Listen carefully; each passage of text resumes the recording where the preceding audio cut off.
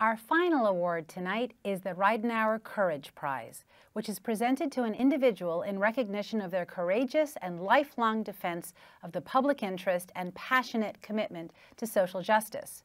We are very lucky that former Truth Teller Prize winner Mayor Carmen Yulín Cruz Soto has returned this year to present the Ridenhour Courage Prize for us.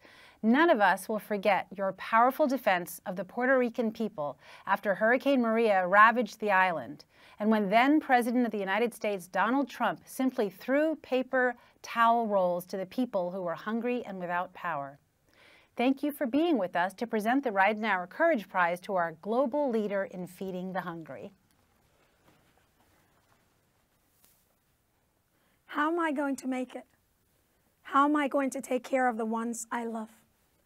These are some of the questions that creep into your heart in the darkest hours after a devastating crisis.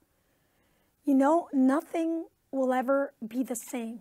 And you understand that without help, you and your loved ones will not make it.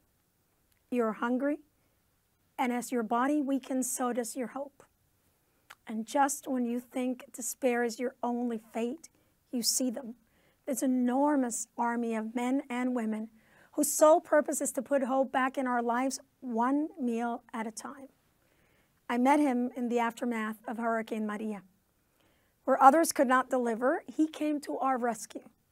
It took him just days to put in place a massive relief operation to do one simple but extraordinary thing feed us.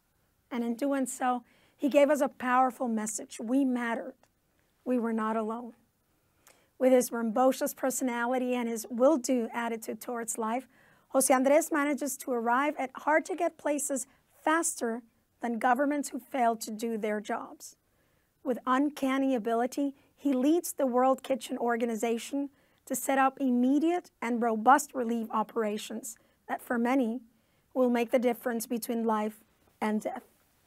And they manage to do it with a local flavor. For more than a decade, the World Kitchen Organization has served more than 50 million meals in more than 400 cities.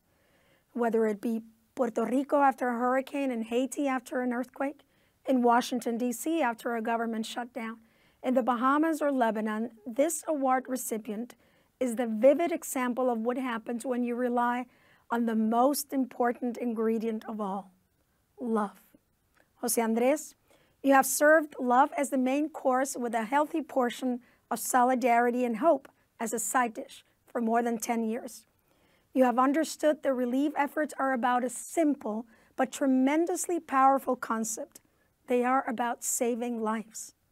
For your outstanding, bold, relentless, and fearless contribution to the well being of people all over the world, and for giving new meaning to the phrase food for the soul the Ron Ridenhour Foundation awards you the 2021 Courage Prize.